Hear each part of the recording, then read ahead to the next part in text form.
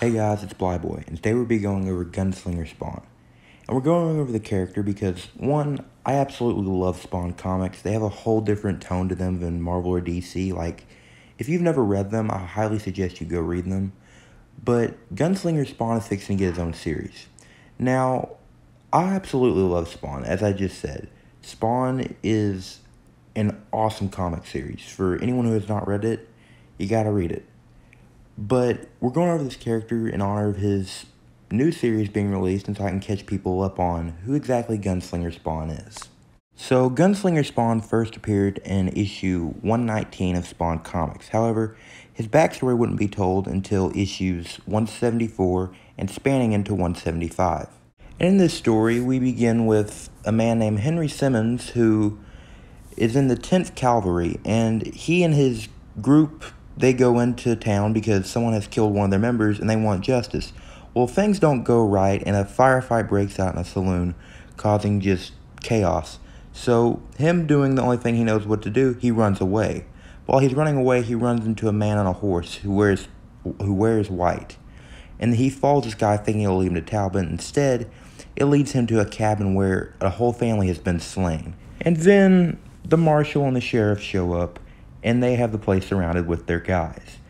And they pretty much tell him, look, like, we know you didn't kill this guy, but we're still taking you in because you did desert the cavalry back at that town back there in Texas. We heard about that. So we're going to take you in and we'll turn you over to the military tomorrow. So they take him to this jail where we meet up with this guy named Jeremy Winston, or as they call him, Old Job. And Job is a preacher whose family was actually the father of the family that was slain. Well, the dad of that family. And what we find out is this gang, led by this guy named Kemper, showed up wanting the land. And well, old Job, he wasn't going to give it up without a fight. And he leaves, and his wife tries to protect the children and everything, but they're sadly killed.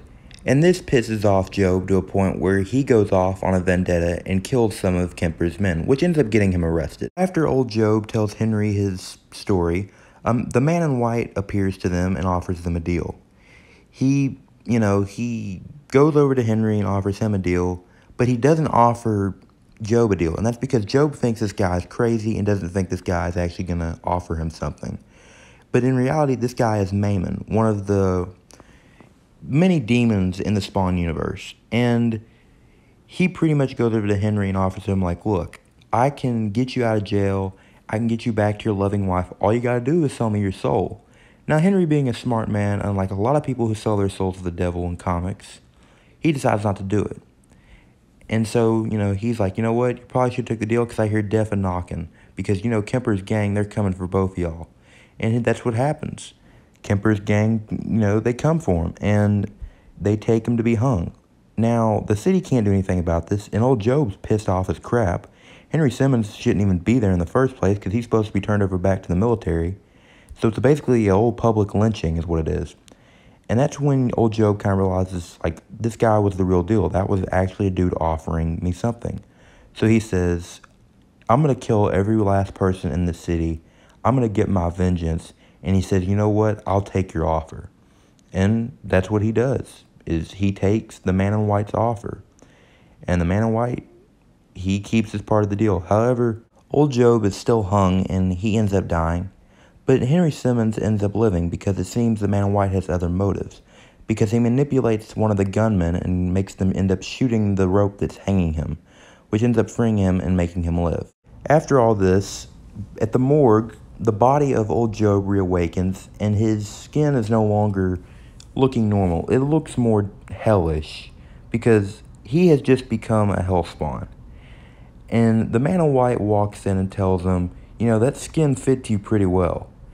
And all old Job cares about is getting his vengeance. And the man in white tells him, look, you got 24 hours to kill as many people as you want in this place. Then, it's, then you have to do whatever I tell you. And that's exactly what he does. First, he stops at the saloon where he ends up killing some of Kemper's men.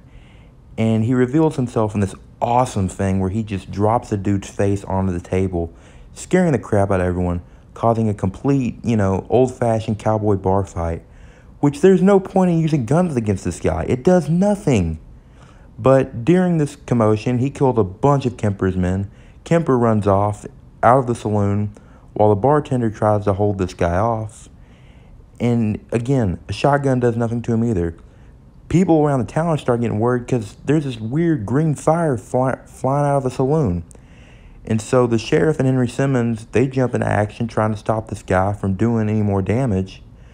But there's no point, like I said.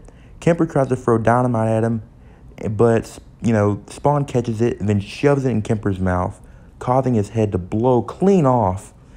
And then he jumps down, killing the sheriff, and is about to kill Henry Simmons when he's stopped by the man in white who tells him, No, I have a reason for this man to live. And so Henry Simmons, you know, he's spared. And we don't know why yet, but we soon find out after Gunslinger, you know, he puts him in a casket and pushes him down the river, where he's then met with the man in white. And he asks the man in white, like, I thought you could say there could only be one Hellspawn a generation. And the man in white replies with, Yeah, that's true. But you carry the seed for one of the greatest spawns to, that is coming. And this, when it's revealed, this is the great grandfather of Al Simmons, who is the main spawn. And yeah, that's pretty much the origin of Gunslinger Spawn. And like I said, I went over this character because the new series Gunslinger Spawn comes out today, and I'm excited for it. So I thought I'd just go over the character to catch everybody up and get everybody ready for it.